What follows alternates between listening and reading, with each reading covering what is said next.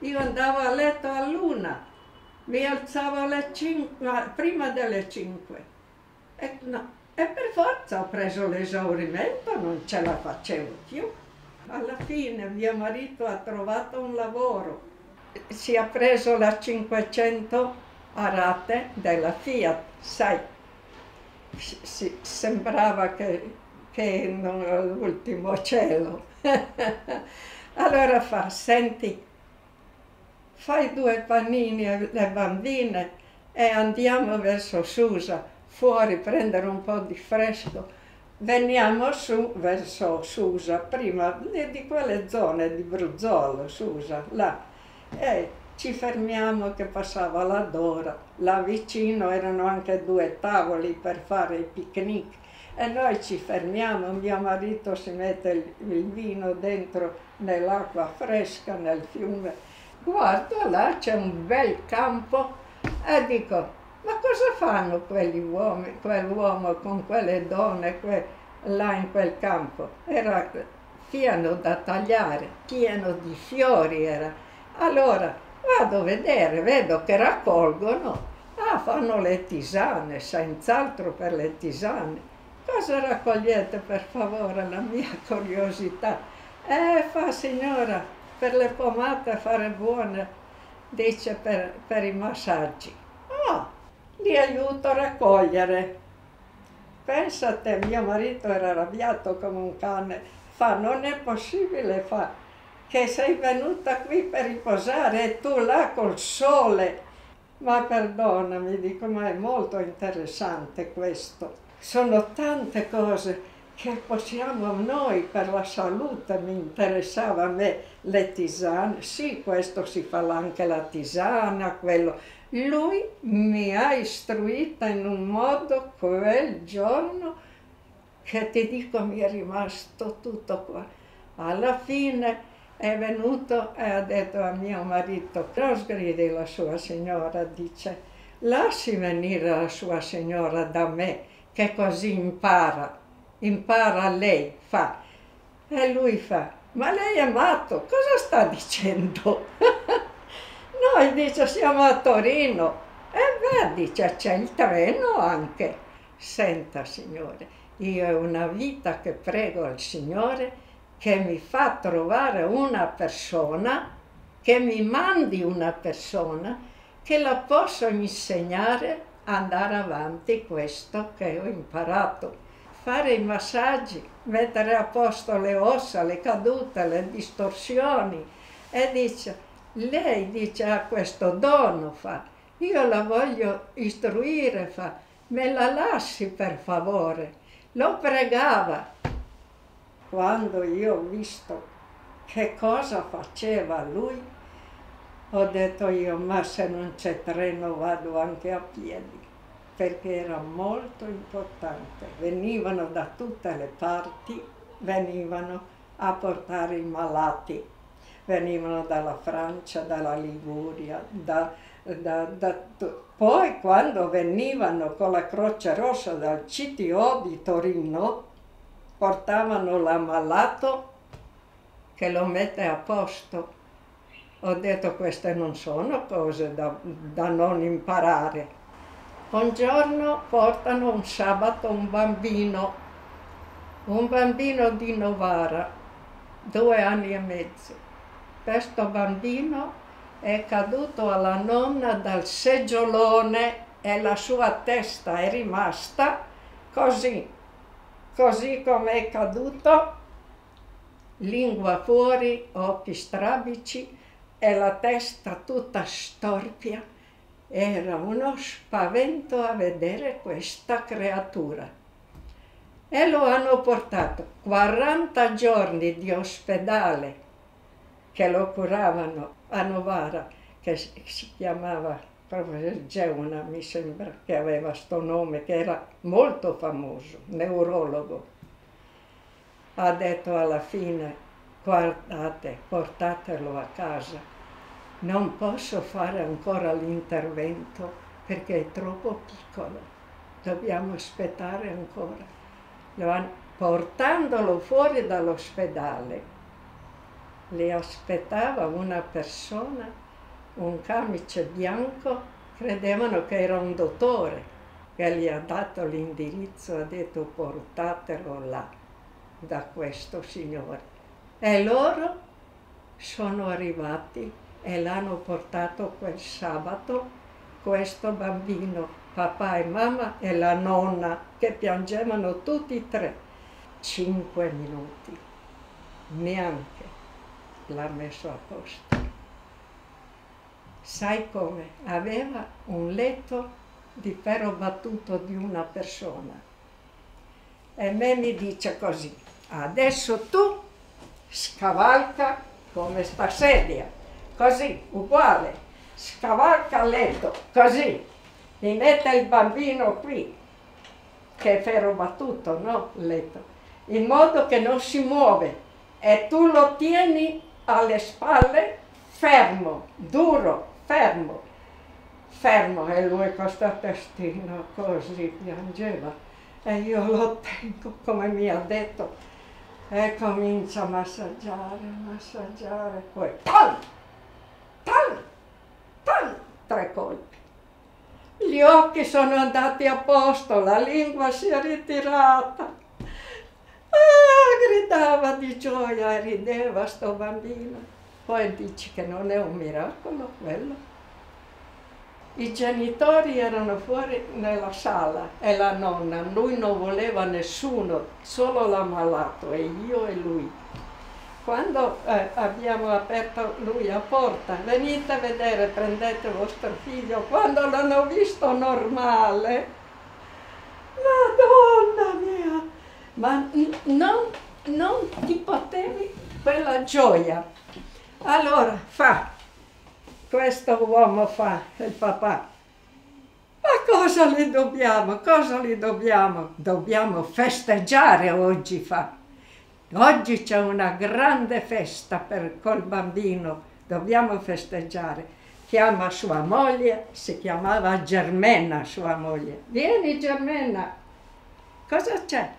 telefona subito al ristorante. E così abbiamo festeggiato questo bambino e loro erano felici, contenti. In cinque minuti è stato guarito e quel professore Geona ha detto portatelo a casa. Ma chi era quell'uomo? Dice, quel vestito tutto di bianco. Ma chi era quello là che ci ha dato? Non l'avevamo mai visto in ospedale come pranzavo là tutti i giorni con loro, portavo qualcosa da casa. Allora, quel giorno avevo detto, mi ricordo, ah, qua era sotto il negozio eh, di alimentari, che ti dà un po' di agnolotti che porto domani su, ma quella volta erano rari agnolotti, sai che facevo mica come oggi che c'è finché vuoi e porta questi agnolotti. Sua moglie fa un buon ragù e fa questi agnolotti per pranzo. Finito a luna, fino a luna si, si lavorava e poi alle tre. Pronto tavolo con gli agnolotti, si va a lavare le mani, io prima in bagno perché lavoravamo, facevamo i massaggi. Allora vado là e li faccio Adesso dico aspettiamo Nemore. Eh, e lui arriva perché lui si è lavato dopo di me le mani in bagno e arriva e mi fa così per la spalla, Tina, non li possiamo mangiare sti agnolotti. Fame, ho detto io, Nemore, ma cosa scherzi, sai? No, fa, li mangeremo stasera. Se vuoi una mela, te la prendi e vai a passeggiare in cortile e lui non ha mangiato niente, si è buttato così su un divano e si è coperto la testa con un plaid. E dico, ma io ho da fare con un pazzo. Madonna mia, avevo fame, mi alzavo presto, puoi capire, e, avevo anche fame. Allora pensavo di tutto, ma sono mica avvelenati ma perché non ne abbiamo mangiati? Ma che allora rosicchiavo sta mela con tutta la rabbia, andavo su e giù in giardino suo e dicevo, ma cosa faccio con un matto così? che non mi lascia neanche mangiare. Poi sono le tre, si scopre la Croce Rossa del CTO di Torino suona al portone e si scopre e fa Germena apri il portone, sono già qui, la Croce Rossa è arrivata. Io cado dalle nuvole. E, e lei, anche la moglie, fa ma se non ha telefonato nessuno? Ma chi viene con la Croce Rossa? Sai chi era? Un ragazzo di 27 anni, di Bra, caduto dal quinto piano dall'impalcatura, con la Croce Rossa l'hanno portato al CTO di Torino. Quando l'hanno visto, hanno detto questo qui non camminerà mai più. Tutta la schiena rotta perché è caduto giù dal quinto piano dalla impalcatura sulla schiena. Entriamo dentro, era il dottore, nessuno deve venire dentro. Alla moglie ha detto, senti, prendi il secchio e gli ha ordinato come fare l'ingessatura. Aveva una piccola vetrinetta lì e dentro c'era un cognac 84. Senti, prende due bicchieri versa metà bicchiere, un altro metà bicchiere e prende così, bevi. Io? Ma lei è matto faccio. Se non ho mangiato che una mela, vuole che bevo sto cognac? Ho detto poi mi ubriaco, poi io non, non, non sono abituato. Bevi lo fa, mi ha scosso. Adesso lo devi bere. E lo beviamo, madonna mia. Adesso fa, ti verrà una energia, una forza, perché questo alcol fa, aiuta il cuore, perché tu devi resistere, essere forte. Fa. L'ammalato là mi ha detto, sulla pancia giù, sto ragazzo, era bello lungo sto ragazzone, e fa, Adesso tu tieni fermo la schiena. Tu tieni qua, fermo, qua, qua. E il suo corpo, la sua schiena era qua, così. E io dovevo tenere come anelli fermi le vertebre. E, e, ecco, e così i dischi fermi. E lui lavorava quelli tutti rotti sembrava che fa un puzzle, guarda. Lui è andato con una mano sotto la pancia e con l'altra sopra, con l'altra sopra. E lui continuava a dire, schiaccia, non mollare, schiaccia, schiaccia, non mollare. Lì dove ti ho messo le dita, altro che cognac era bisogno. Io ti dico, mi correva giù per la spina dorsale, per la schiena, come un fiume, e il sudore della forza energia che dovevo schiacciare forte. E lui ha ricomposto tutta la sua schiena. E succede, va di nuovo dentro in questa vetrinetta, prende una bottiglia che sembrava che c'è di birra, quella è mezzo litro di birra, che cavolo, dico, questo è mezzo litro di birra. Sai cos'era dentro? La resina di pino. E sulla schiena, dove lui ha ricomposto, prende sta bottiglia e versa così. Come miele, così. Versa, versa. Poi ha messo le garze. Poi ha chiamato la moglie che porta il secchio pronto per fargli l'ingessatura. Dopo l'abbiamo ingessato bene, poi quattro ore lì fermo così, bagnato, ingessato, bisognava fare sugare. Non si può muovere adesso, portarlo via così. Un phon di qua, io un altro phon, lui di là, e asciugarlo coi phon suga, suga, suga. Finché non era asciugato non si doveva muovere. Quando è stato asciutto, allora l'abbiamo girato nella lettiga e se l'hanno portato via. L'ho riportato fra 15 giorni. Lo hanno riportato dopo 15 giorni e abbiamo tolto il gesso.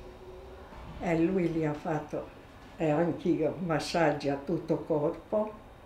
Ha preso un vaso di crema, questa che faccio anch'io oggi, e l'ha fatto tutto bagnato, tutto tanta crema, tanta.